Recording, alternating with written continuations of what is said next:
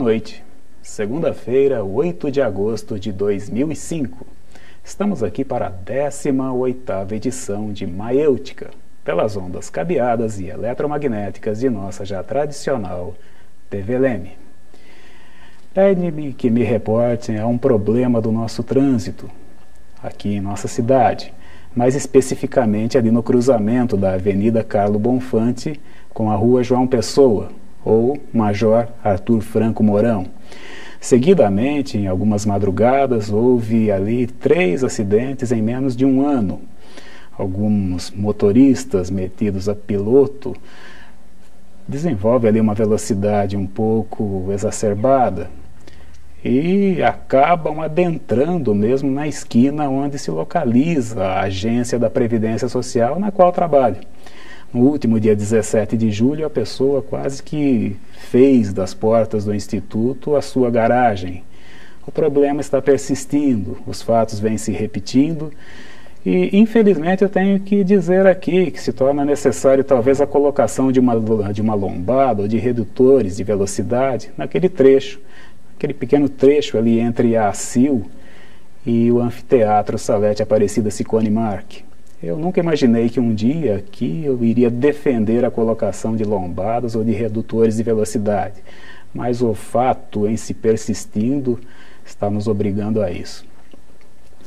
Os nossos convidados de hoje, o professor Paulo Máximo, amigo de longa data, posso dizer a vocês que carreguei o professor Paulo Máximo no colo, óbvio ele era bem pequenininho, né?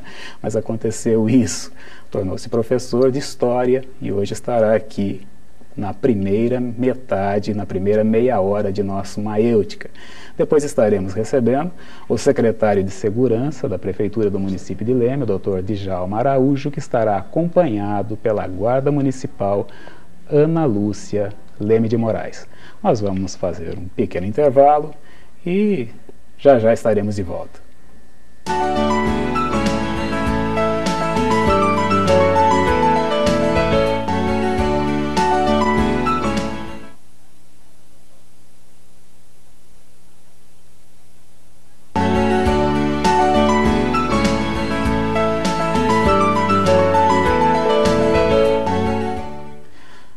Professor Paulo Máximo. Boa noite. Boa noite. É um prazer estar aqui no seu programa. É a primeira vez que você está assim, na frente das câmeras? Na televisão? Primeira vez. Mas tem sempre uma primeira vez, né? Você estava falando aí agora como foi seu primeiro dia como professor. Dá para você contar mais ou menos? Nossa, já faz uns 13, 14 anos, hein? Eu fui substituir, naquela época era, tinha o SPB. Você lembra o SPB? Organização Social e Política Brasileira. Exatamente. Eu fui substituir mesmo. na Maria Joaquina, na Escola Maria Joaquina, a professora Ana Veiga ainda. Um dia de tarde, uma quarta ou quinta-feira. Eu não queria ir. Minha irmã trabalhava, Dalcio trabalhava na secretaria, obrigou eu. Não, você vem porque é importante abrir sede. Eu fui correndo. Você ainda era acadêmico? Estava estudando. Isso foi o quê? Eu comecei a estudar em 92 isso em fevereiro. Em abril eu estava dando aulas de professor substituto. Essa sua formação acadêmica, Paulo, como que ela foi? Bom, eu comecei a estudar em 92, né? Eu fiz História na Faculdade de Ciências e Letras de Guaxupé, Minas Gerais. Terminei História, eu fiz dois cursos de especialização, um aqui na Faculdade de Agrimensura de Pirassununga e outro na Unesp em Araraquara. Hoje eu estou fazendo complementação pedagógica. Continua estudando. Continua, não pode parar, né? Não pode. Paulo, a sua formação, uh, seu período aí de aprendizado, parece que não foi lá, foi um tanto quanto heterodoxa, heterodoxa né, nos primeiros tempos ali de escola seu. Você tem algum constrangimento de falar a respeito disso? Parece que você enfrentava um problema de disfasia, isso daí não foi bem compreendido por alguns professores. Não é? Quando você começa, você está empolgado, você, você acha que você vai mudar o mundo, ou tem a possibilidade de mudar o mundo.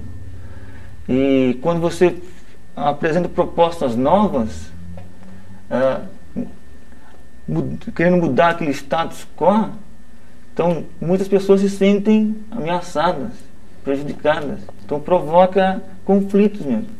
o novo e o arcaico, né? Então é uma confusão mesmo. Acaba havendo contraditório. Exatamente. E a partir daí a hierarquia se manifesta. É, mas a, isso que é importante, né? O conflito. Se não há conflito, eu acho que não há aprendizagem. As coisas ainda são assim? Não. É que depois eu já estou há 13, 14 anos lecionando. Hoje eu já sou respeitado, trabalho em três escolas, né? Quais são as escolas que você... Hoje eu leciono na Escola Maria Joaquim de Arruda, na Escola Técnica Salim CD e na Escola Liceu Glorendei. Em todas elas você ministra aulas de história. De história, de história. Há algum fato histórico, Paulo, nesse processo todo, nessa experiência sua, que desperta mais a atenção dos alunos? Olha, quando é, você fala sobre eu ele. Eu acho que o, o, assunto que mais desperta interesse dos alunos é quando você fala nos regimes autoritários, totalitários, os fascismos na Europa, principalmente o fascismo alemão, né? Como é como nazismo, né? Pré-segunda guerra e mesmo durante a segunda Isso. guerra mundial. No, no, no período é, entre guerras, né, que vai de 18 a 39, e durante a segunda guerra mundial. Como é que eu faço? Quando eu vou passar essa matéria para os alunos, é o conteúdo, eu faço um debate. Eu divido as classes em dois, dois grupos. Um, um grupo tem a função de, no caso de advogados, de tentar defender Hitler e Mussolini, e o outro grupo no, no papel da promotoria de acusação. Aí você pergunta assim, mas defender Hitler? Mas nós temos que ver que a história ela tem diversos lados. Então eu, como professor de história, eu penso assim, nós temos que passar os diversos lados que a história apresenta. Porque para um fato histórico existe o quê? duas ou mais representações. Então eu faço esse debate. E a molecada adora, leva filme, leva cartaz, aí tinha aquela discussão, se você não intermedia, para um pouquinho, chega. Sai até briga quase. Segundo Winston Churchill, né, ele dizia que a história era escrita pelos vencedores, que ele era historiador e que é. ele era um vencedor.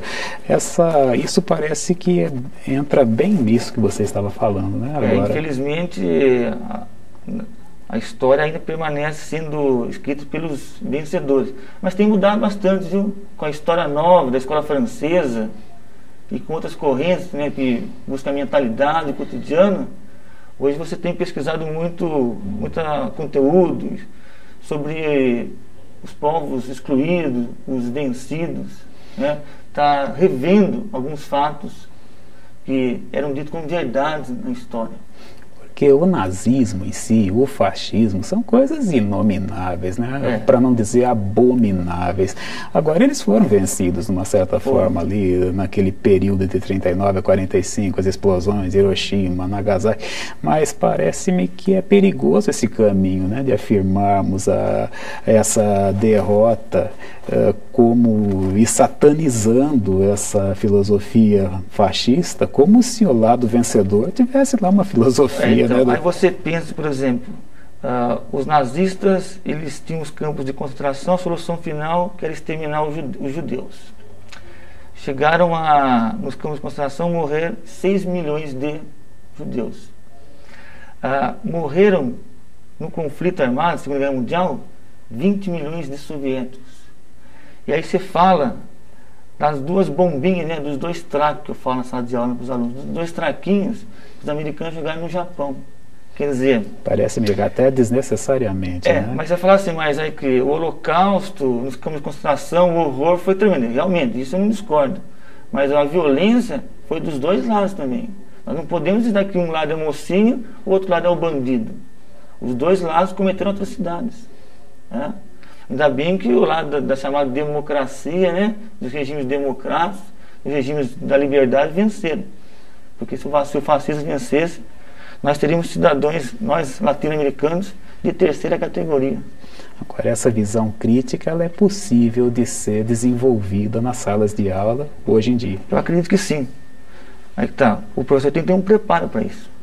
Né? Quando eu termino um debate sobre isso, porque é meio perigoso fazer um debate né, defendendo o Hitler. O pessoal vai dizer que eu sou racista ou fascista. Não, nem pensar. Jamais isso. Quando termina o debate, eu já tenho material para mostrar que o discurso fascista ele é racista. E no Brasil, a Constituição trata essa questão como crime de racismo. Então você não pode usar a suástica na camiseta sua, que é o símbolo do nazismo. Você não pode. Você não pode fazer apologia ao fascismo, porque é crime. Recentemente, teve um comerciante em São Paulo que tinha muito material fascista. E na internet ele vinculava esse material. Esse material foi é, apreendido pela polícia militar e ele está preso respondendo processo. Agora você falou em sua atividade magisterial aí, você leciona na ET, né? É bem esse o termo, ET? É, é ET, na Escola Técnica Estadual. Você leciona no Liceu Gloriandei? Isso. E no tradicionalíssimo Mary Joe. É, Mary Joe. Nosso querido Maria Joaquina, por onde eu também Exatamente. transitei ali boa parte da minha existência. Você sente diferença entre a escola pública, a escola privada, a escola profissionalizante, Paulo? Existe, bastante. né? Na escola pública, hoje a proposta pedagógica ah, não é forçar o aluno a aprender, ele aprende com o tempo. Ele tem, por exemplo, oito anos para aprender, que corresponde da primeira série, que ele entra até a oitava série, quer dizer, o ensino fundamental todo. Né? E hoje você não pode impor conteúdos, saberes. O aluno que tem que, com o tempo, pesquisar, você é apenas um mediador nesse conhecimento. No liceu, ah, existe um sistema já, o etapa. Então você, como professor, você tem que eh, cumprir com os prazos na apostila. Ele é específico para vestibular mesmo? assim? É, ele prepara o aluno para o vestibular, o etapa. né? Isso acaba limitando, de certa forma, o Mas aí que tá, eu percebi isso também. Nas minhas aulas eu tento pô- ah, colocar uma polêmica. Esses debates que eu faço na escola técnica, no Maria Jaquina, eu faço a mesma coisa no liceu. É que nós não temos que se preocupar muito, eu, no meu, no meu ponto de vista, se preocupar só com a apostila, o conteúdo lá. Eu posso trabalhar aquele conteúdo de uma outra forma, através de um debate, através de um filme, através de uma imagem, de debré. Então, como chegar ao conhecimento, não precisa ser pela apostila. Tem outros meios. Então, eu utilizo também no liceu. Apesar que eu tenho que ter, tenho que cumprir o prazo, né? Da apostila. Ali a cobrança é mais específica, né? nessas- É, é porque é uma escola particular, né? E os pais querem resultados. Agora, em sua condição de historiador, agora não esquecendo a condição de professor de história, né? há outras finalidades para uma pessoa que estudou a história a fundo como você estudou, além do magistério? Ah, tem várias. Você pode trabalhar em pesquisas, trabalhar ah, em bibliotecas, em museus, né? Foi na área de pesquisa. Vamos supor, TV Leme. Na, na, na área de pesquisa, o historiador pode trabalhar tran- tranquilamente, né? Co- colher dados, informações, para tornar o programa, assim, em alguns aspectos, mais preciso, na hora de citar. Isso é para que depois o apresentador não fique falando bobagens É. aqui, né? elencando fatos Hoje o erroneamente. campo de trabalho para o historiador é amplo demais. Você pode trabalhar também em jornais, em revistas, mas não é, ainda, ainda o magistério ainda é um meio ainda mais. Quando aquele pensador Fukuyama pregou o fim da história, Ah. Paulo, você Ele escreveu o livro O Fim da História e o Último Homem, né? Aqui tá, ele diz o seguinte, durante o século XX houve duas alternativas ao capitalismo. A primeira foi ah, os fascismos, né? a segunda o que era, até, socialismo. que era até chamado de nacional-socialismo, né? o fascismo. Eh, essas duas tendências, esses dois sistemas, como uma resposta. O que aconteceu? Os fascismos foram derrotados. O socialismo real do século XX caiu com o quê? Com a União Soviética. Então ele afirmou que não há mais outra alternativa, que esse, que esse tipo de capitalismo que nós estamos aí venceu. Agora ele escreveu isso antes da queda do muro, do, É. da queda do muro não, antes da queda do, do World Trade Center. né? É, mas ele já percebeu né, a situação da, da União Soviética naquele contexto. A União Soviética já não tinha mais condições de permanecer competindo com os Estados Unidos, naquela chamada né, Guerra Fria. Você ia na, na União Soviética, nas Olimpíadas de 82, os soviéticos tiveram que importar computador para cobrir os Jogos Olímpicos, enquanto que já mandou o homem para a Lua, né? Olha que contradição. É, as coisas acabavam ali chegando. É, bem contraditório. Os paradoxos eram tremendos. Né? Exatamente. Né? Problemas enfrentados, sobretudo pela burocracia né, daquele, uhum. daquele socialismo imposto, imposto por assim dizer, né, havia uma sociedade agrária. Aquele socialismo real que nasceu com a Revolução Russa, em 1917, era um socialismo autoritário. E durante a era stalinista, ele era totalitário. Ele é comparado ao nazismo alemão. É, os novos filósofos franceses até falavam que o germe, esse autoritarismo estava no, no, próprio germe do marxismo. Eu achava um pouco exagerado. Né? O marxismo em si não tem, parece-me, essa necessidade autoritária vinculada, mas é acabou se tornando. É, é aquela história. Depende como você interpreta, né?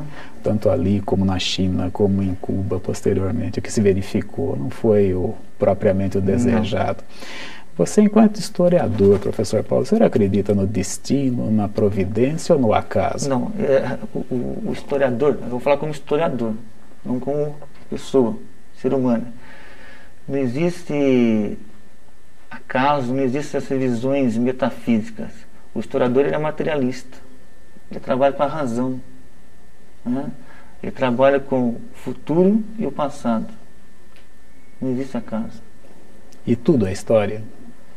É. Graças a Deus. Felizmente, tudo é história. Né? O que nós estamos fazendo aqui é história. Bem, professor Paulo, acho que nós conseguimos não propriamente esgotar o assunto, né? É porque é uma história. É, o assunto é apaixonante, né? História é fascinante. É aquela história que eu sempre falo. Quanto mais eu leio história, menos eu sei. É bom assim, né? É, estava lá no pórtico, né, nos deuses gregos, sou sábio porque sei, ou melhor, conhece, lá estava, conhece-te a ti mesmo, né? Mas não tem, Mas... como você sabia a história. Quanto mais você lê, menos você sabe. Se Agora, alguém um dia falar que sabe história, pelo amor de Deus, Agora, de só, do grande filósofo Sócrates vinha assertivo, né? Sou é. sábio porque sei que nada sei. Essa confissão de humildade, às vezes, acaba faltando a muita gente. Né? Bastante.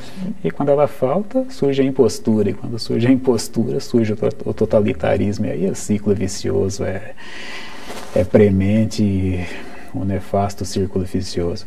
Bem, professor Paulo, o tempo é todo seu. A senhora é dono do tempo para um até breve aos nossos eventos. Oh, muito obrigado pela, pelo convite. Doeu a primeira experiência, né? Não, imagina, tranquilo. O papo é agradável, né? Então, foi tudo bem.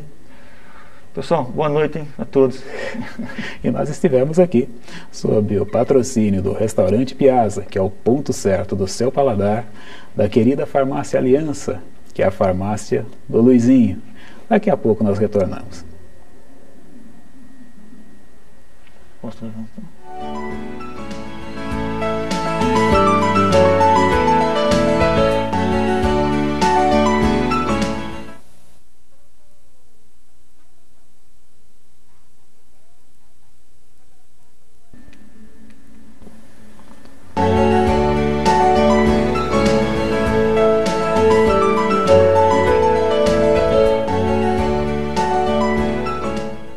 Estamos de volta neste fim de noite de segunda-feira, dia 8 de agosto de 2005, para a segunda meia hora de Maiêutica, agora sob o patrocínio do Café Brasil, onde você pode saborear o melhor café do Brasil, e da distribuidora de revistas Silvia, com os seus tradicionais pontos de venda, ali na Avenida Doutor Jambeiro Costa, número 238, na nossa Praça Rui Barbosa, famosa Banca do Rubão, e na Praça José de Souza Queiroz, de frente à matriz da Imaculada Conceição.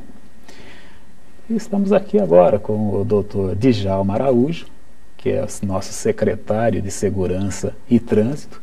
Diz ele que ele é mais xingado pelo trânsito do que pela segurança, e com a nossa amiga de longa data, né? desde agora, a senhora Ana Lúcia Leme de Moraes, que é guarda municipal Ana Lúcia, dá para você decifrar? Bom, boa noite, né? Boa noite. Boa noite, doutor Djalma. Boa noite. Já estava aqui esquecendo dos cumprimentos.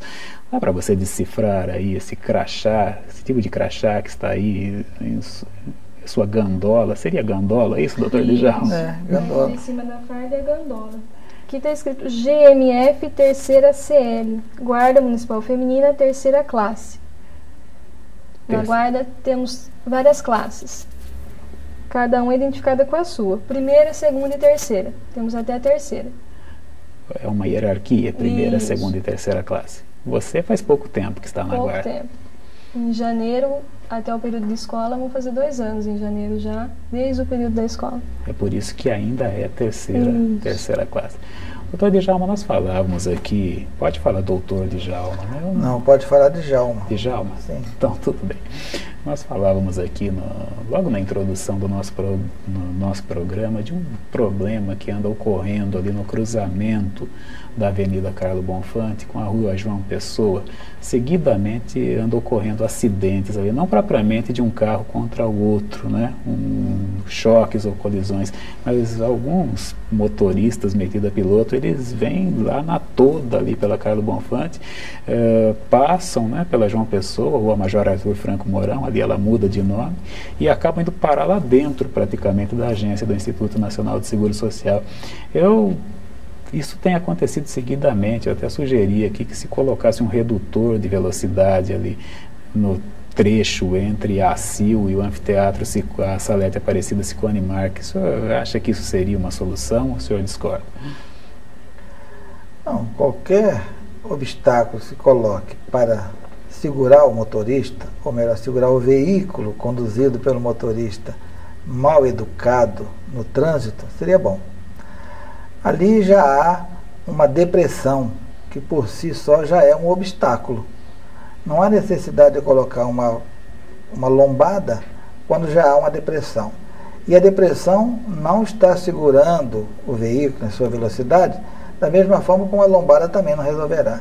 O nosso problema não somente naquele cruzamento, como em todos os outros locais onde há sinalização, há perigo, há necessidade de se dirigir mais devagar, o único problema chama-se o motorista. É aquela peça que fica atrás do volante. Porque é, semáforo, sinalizações das mais diversas, a própria lombada, que há quem reclame de algumas lombadas que mais parece o corcunda de um camelo, e ela nem assim consegue segurar o motorista, porque não há educação de trânsito, não é educação do cidadão, pura e simplesmente. Então, aquele cruzamento já foi objeto de estudo. Inclusive, nós reforçamos a sinalização horizontal, a pintura no solo, para que o motorista se atenha, mas não estamos conseguindo. Já falaram em semáforo, se já há a lombada, nós vamos descendo. Né? Como, né? Então é complicado. A situação é complicada. E os, os acidentes andam ocorrendo bem na, na madrugada. Olá, e, tanto que a lombada é uma a lombada é um obstáculo que não faz muito tempo um automóvel na madrugada ele em alta velocidade a lombada fez com que ele, o seu carro tomasse direção à calçada logo depois do INSS, não é isso? Isso. E rebentou toda a grade do cidadão, da residência lá. Por quê? Por causa da, da, da depressão. Então a depressão realmente é um obstáculo. Teria acontecido com a lombada a mesma coisa, ele se projetaria em algum lugar. Então é difícil segurar o motorista. O elemento, quando está de posse do volante, ele torna-se um aventureiro. E isso é ruim para todo mundo. Ana Lúcia, recentemente houve uma polêmica aí, uma polêmica não, né? Mas vocês, enquanto guardas municipais, uh, foram impedidas né, de aplicar multas. Isso aconteceu recentemente. Isso dificultou o trabalho da guarda municipal? De maneira nenhuma. Eu acho que a guarda continua agindo da mesma forma que agiu, que sempre agiu. As multas continuaram sendo feitas normalmente. Claro que tinha aquele, aquela polêmica toda sobre a multa, mas o trabalho correu normalmente. Essa... Nem, nenhum, nenhum veículo foi deixado de ser autuado se ele estivesse irregular, nenhuma multa deixou de ser feita. Pela própria Guarda Municipal? Pela própria Guarda Municipal. Essa questão técnica, jurídica, ela foi resolvida? Não. Existe uma incoerência é, que eu entendo quando se recorre à Constituição de, de 88 e então proibiram a Guarda Municipal de multar. Mas todas as guardas municipais têm no bojo dos seus estatutos, do seu procedimento interno, a multa. Não houve qualquer contestação. Agora, por algum motivo, então, tiraram da guarda o direito de multar. Criou-se um problema. A maioria das multas, a nível local, pertence ao município. Quem, a, a gerência do espaço geográfico de qualquer município é da administração municipal. Algumas multas pertencem à polícia militar. Então, como é que fica? Não multar no, no que diz respeito à competência do, do município diante do, do infrator. Cria-se um problema. O infrator vai rir, e é o que está acontecendo em alguns locais. Então, nós, com a aquiescência da administração, preferimos continuar multando. Se essas multas seguirem caminho e forem contestadas, quer dizer, com o famoso recurso, os motoristas pode, pode ser que tenha, é, seja deferido. Mas nós vamos continuar multando. Por quê? Senão vai criar um problema de ordem social, inclusive. E perigoso. O sujeito ultrapassa o sinal, o guarda municipal está ali. E ele é um boneco? Não vai poder multar? Ou então, alguém já fez, então por que não cria um grupo para multar? Bom, vamos criar mais uma despesa para o município? O contribuinte vai pagar por mais um grupo, por que não? Então, legalizar a parte da Guarda Municipal. Então, nós estamos, o senhor prefeito nos permitiu isto, entrando com uma ação, já está no jurídico, para contestar essa situação. Então, enquanto isso não se resolve, vamos continuar aplicando a multa. Já que nós estamos falando em trânsito, Ana Lúcia, você pela sua formação como guarda municipal, e os guardas municipais às vezes acabam sendo muito criticados porque eles agem diretamente na questão do cinto de segurança. Né? O que, que pela sua formação como guarda municipal, o que, você tem a dizer acerca do uso do cinto de segurança? É incontestável a, a necessidade do cinto de segurança. Isso é incontestável. A parte do guarda, no início, é mais orientar. Porque é difícil, é, geralmente a pessoa esquece, ou a pessoa está com pressa, o cinto é bem questionável. Só que a primeira vista a gente orienta. A primeira orientação que a gente tem é falar para a condutora, use e falar a importância dele. Criança no banco traseiro, até certa idade, e etc. Então, a primeira a orientação é a pessoa, orientar em primeiro lugar. Mas é incontestável a necessidade disso. Mas não Se só gente, o condutor, né? o passageiro Não só o condutor, com certeza também. o passageiro. E se forem, supor, feitas multas em relação a cinto, todo é condutor vai mexer com o bolso. E quando mexe com o bolso, a pessoa parece que acorda, né? Mas em questão ao cinto de segurança, primeiramente é realmente orientar o condutor. Geralmente em semáforo, que o guarda fica, ó, coloca o cinto, colabora com a gente, é melhor para o senhor. Geralmente a pessoa respeita, tá vendo que a gente está falando pro bem dela mesmo. Ah, falando mais especificamente da Guarda Municipal, Ana Lúcia, qual o contingente da nossa Guarda Municipal? A gente está com 59, né, seu Djalma? Oito. 58, né? É, um pediu licença e o Isso. outro nós expulsamos. 58 guardas. Entre eles, oito meninas. São apenas oito. Oito GMS. Essa experiência das meninas na Guarda Municipal tem sido frutífera? Muito. Aliás, as mulheres têm uma capacidade de adaptação muito grande a qualquer tipo de profissão. Contesta-se em algumas, até de serviço de pedreiro, e elas já provaram que são capazes. Por que não? Então a Guarda Municipal assimilou bem a situação, elas se integraram bem, não temos qualquer tipo de queixa sobre isso, o respeito existe muito, até é, guardado devido à proporção, é, o número de oito contra, é, com um contingente de 58, elas têm o seu espaço garantido e sabem como se conduzir, e os homens também. Então, há um relacionamento perfeito nisso daí, há um respeito mútuo e com isso ganha-se na produtividade, com certeza. Um entrosamento com a polícia civil, com a polícia militar, com o corpo de bombeiros, ele se verifica aqui Com em nosso município? Com certeza. Quer chegar nisso. É um entrosamento bom, digamos assim, muito bom. A guarda, PM, civil, bombeiro, relacionamento entre um outro, porque um depende do outro. Querendo ou não, numa ocorrência, em qualquer situação, um depende do outro mesmo. Então o entrosamento é bem é bom mesmo aqui. Você se sente respeitada pelos munícipes, Ana Lúcia? Ou existem no, aqueles no que são preconceituosos? Era, era, era bem, vamos dizer assim, ah, mulher, guarda. Mas hoje em dia eu acho que não. Hoje em dia está bem nivelado mesmo, homem e mulher, porque vai bem na pessoa também. Acho que a gente tem que se impor. Se você é uma guarda mulher, acho que você tem que se impor até mais que um homem, porque um homem em relação à mulher ele vai querer folgar, digamos assim, né? E é bem isso. Acho que você tem que se impor. E hoje a gente vê que está tá bem diferente do começo. A pessoa está respeitando bem melhor. Há algum trabalho Agora a pergunta é para os dois, né? Onde o GM em si, esse termo carinhoso até, né, se tornou GM, até é bom a gente falar. Eu gosto muito de ver a Guarda Municipal falando como cidadão, né? Ela me passa assim muita uma coisa de civilidade, uma coisa de até mesmo de higiene social, que nós, o termo parece até um pouco pesado, mas é isso que a guarda me transmite, né? Há algum trabalho ali na guarda, agora pergunta para os dois, como eu já disse, né? que onde o GM possa desenvolver as suas potencialidades, não uma só especificamente no campo da segurança, mas em outras áreas, né, como arte, eh, educação, e, há esse trabalho ali de, de aperfeiçoamento. Na, na formação, também dessa turma, e já, eu já estava como secretário, nós colocamos no currículo procedimento social inclusive.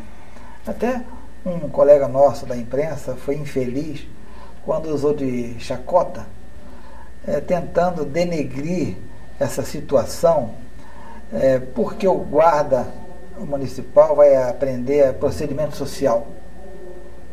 Antes de ser guarda, é um cidadão comum. Merece respeito. Ele precisa aprender, faz parte do processo de educação no seu todo, o procedimento social e, por que não, o procedimento à mesa, numa condução, na rua. Então, eles receberam, apenas ilustrando a sua pergunta, essa, essa orientação veio uma, a Malu, ela é formada nisto, e ela foi e apresentou a eles a matéria procedimento social e foi muito bem aceito. Inclusive, os mais antigos que não tinham isso no currículo estão pedindo. Então, na primeira oportunidade, nós vamos levar a todos esse procedimento. Então, procedimento social, procedimento com o idoso, com a criança, na rua, num ambiente fechado. Então, a Guarda Municipal, para quem tem dúvida, está plenamente preparada para qualquer tipo de situação na comunidade. O munícipe que paga o ordenado nosso, o munícipe que através do imposto ele paga tudo, ele tem certeza de que o seu dinheiro está sendo bem empregado, porque a guarda municipal, o homem e a mulher, os dois estão plenamente preparados para qualquer tipo de chamada estão aí para isso. Agora, você parece que continua estudando, né, Ana Lúcia? Continuo, faço ciências contábeis, estou no terceiro ano de faculdade aqui em Leme. Você é de Leme? Sou de Leme. Você estudou onde? Dá para contar para gente? Estudei na Altimira Pink, de primeira a quarta série, Newton Prado, passei pelo colegial, fiz escola técnica na ET aqui em Leme, fiz tecnólogo em informática, passei na Maria Joaquina num curso de, do SENAC de organização de empresas, e agora faço a faculdade. Você é da primeira turma feminina da Guarda Municipal. Primeira turma feminina. Algum professor ou professora que você gostaria de lembrar aqui que haja marcado sua formação? Eu acho que todos, não tem um ou outro que se destacou. Acho que no conjunto foram todos excelentes, cada um na sua matéria, cada um na sua área, cada um. E o trabalho da guarda junto às escolas, como anda, Ana Lúcia? É bem recebido a ronda escolar, digamos assim, né? É, no início, quando as, soltou, vamos dizer assim, as meninas na rua, né? Na, na ronda e tal, as escolas, os alunos adoravam, as crianças, principalmente criança em menorzinho, adoravam atravessar a rua, brincar, conversar, oh, guarda, guarda isso, guarda aquilo, e para eles, eles se sentiam, dizemos assim, a professora até falar, eles falam quando crescer vão querer ser guardas. Quer dizer, a, a, a, figura do guarda eu acho de suma importância nesse tipo, na escola, na creche, em qualquer lugar que tenha contato com criança. A orientação em si é muito bom. A sua atividade enquanto GM, ela atendeu a um chamado vocacional seu foi uma simples busca de empregos? Hum. Desculpa fazer a pergunta assim, né? Meio que quase que quando, quando eu entrei na guarda, eu não tinha noção nenhuma do que seja, como muita gente aqui em Lei não tem noção do que seja a guarda municipal. Não tem noção do trabalho que ela faz, do, na onde ela age, o que é o guarda. Como eu era, prestei o concurso, não sabia onde que eu estava, o que, que seria isso. Eu trabalhei em em farmácia de homeopatia, trabalhei em escritório de contabilidade, não tinha nada a ver, digamos assim, com a área de segurança.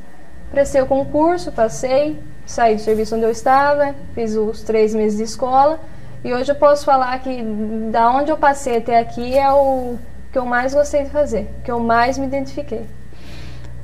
Djalma, ah, agora ah, aquela questão terrível do, das armas, né? A Guarda Municipal não pode usar armas. Não, a guarda não está é, habilitada, segundo a lei, para usar arma, segundo mas está preparada para usar a arma. Todos os guardas fizeram curso de tiro, sabem se comportar com a arma, receberam instrução para isto, estão aptos. E eles têm porte de arma fornecido pela polícia. Então eles estão plenamente preparados para usar a arma. Em 23 de dezembro do ano passado, o presidente da República, através de uma MP, é, autorizou aos municípios com mais de 50 mil habitantes, os guardas poderiam portar arma. Ponto.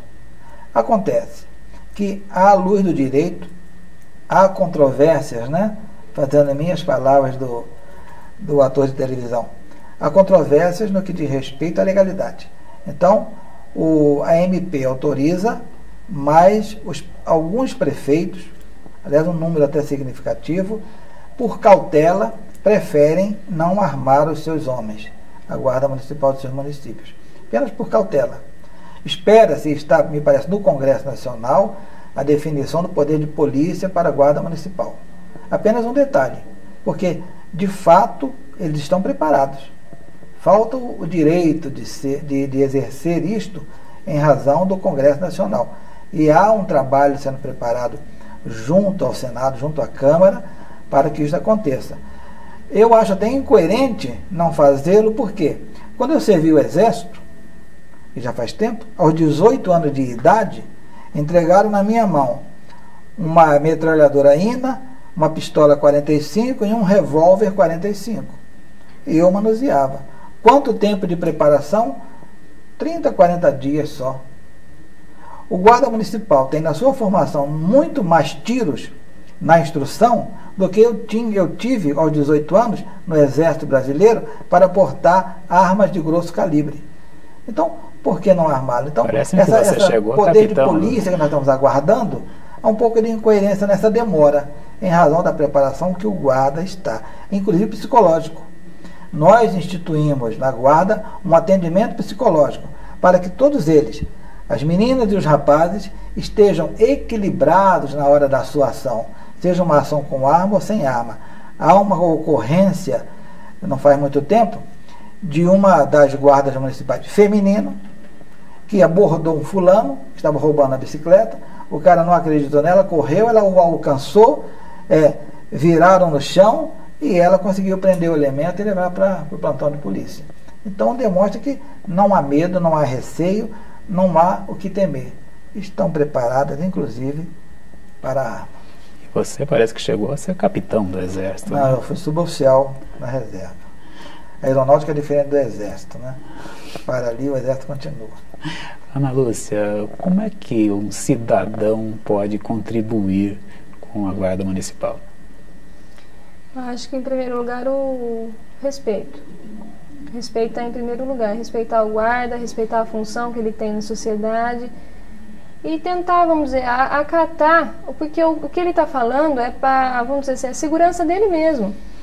Acho que o respeito em primeiro lugar, que o respeito, acima de tudo, respeitar o guarda, enxergar a figura do guarda como um, educador, um amigo, principalmente os pais em relação aos filhos. E aquelas pessoas que falam para o filho, para o menino, ah lá, o guarda vai te, vai te prender. Não. Hoje eu vi essa cena acontecer, mas eu fiquei... Isso a gente via muito na escola e a gente orientava a mãe, não fala assim. Porque num, num num, numa situação de, de, apuro, de sufoco, ele não vai, ele vai ter receio de chamar o guarda. A mãe falou que o guarda vai pegar, o guarda vai levar. A gente falava, uh, nós meninas na ronda, geralmente falava bastante isso para as mães. Ó, não fala assim. Orienta, ó, a gente não vai fazer nada para você. Explica para ele qual é a função, ele vai ajudar. Porque a criança fica com receio. Não, o guarda vai te pegar, o guarda vai te levar para. A criança fica com aquele receio. E esse receio não é para não é para se ter, não. Bem, doutor Djalma, Djalma, o tempo, o senhor agora, você é dono do tempo para dar um até breve aos nossos eventos. Esperamos que o senhor retorne, que você retorne mais oportunamente para nós continuarmos debatendo aqui essas ideias. O importante é debatermos as ideias, né?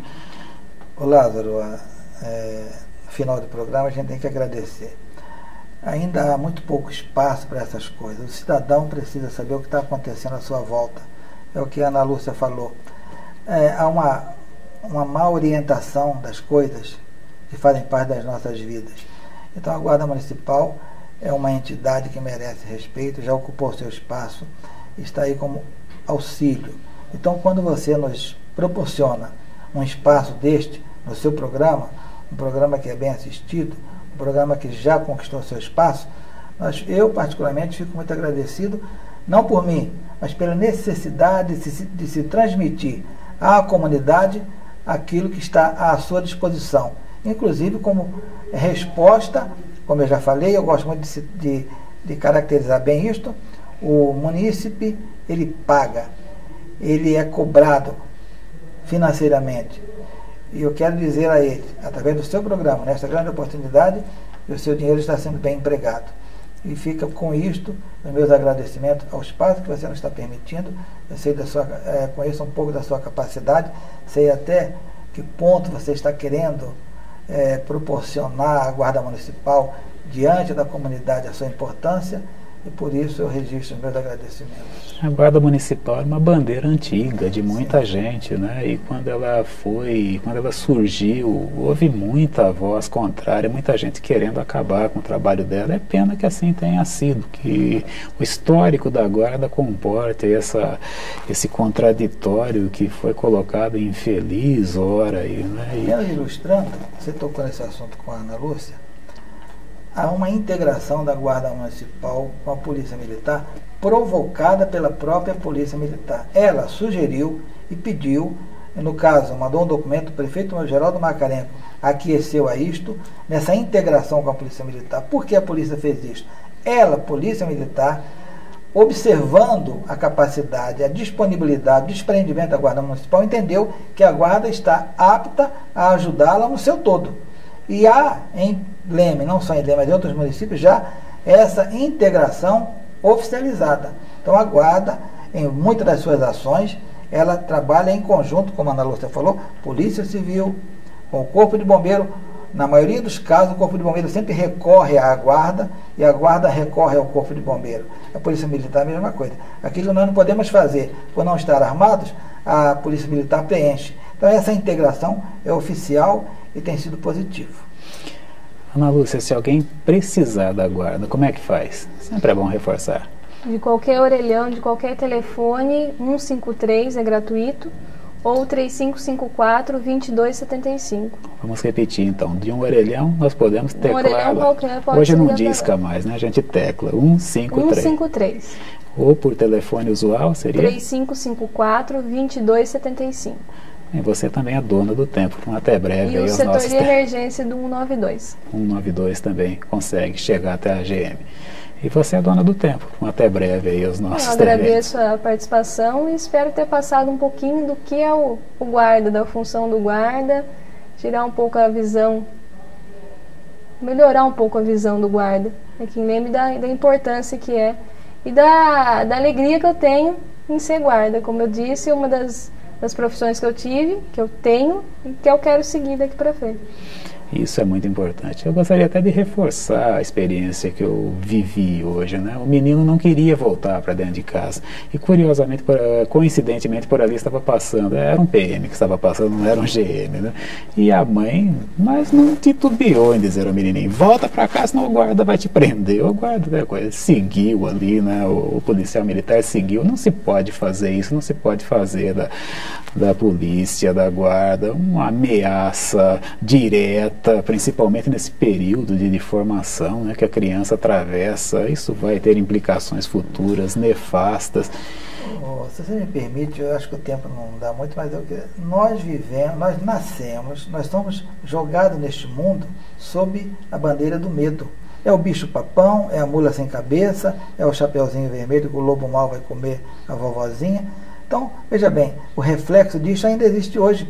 Quando uma senhora, uma mãe fala, não faça isso que o guarda vai te pegar, ela no seu inconsciente está palpitando o que? O chapeuzinho, o lobo mau, a mula sem cabeça e outras figuras da nossa, da nossa, é, da nossa história aí, né? do nosso folclore. Infelizmente é assim. E o não... medo, a imposição do medo, ele, ele tenta cobrir o respeito, a importância das coisas. E não é pelo medo que nós conseguimos Sim. formar a cidadania. Né?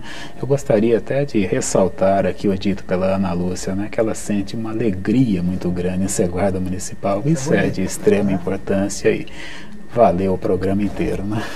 Com certeza. Bem, nós estivemos aqui mais uma vez sob o patrocínio do Café Brasil, onde você pode saborear o melhor café do Brasil e da distribuidora de revista Silvia, com seus pontos de venda ali na Avenida Doutor Jambeiro Costa, número 238, a Banca do Rubão, na Praça Rui Barbosa e na Praça José de Souza Queiroz, de frente à Igreja Imaculada.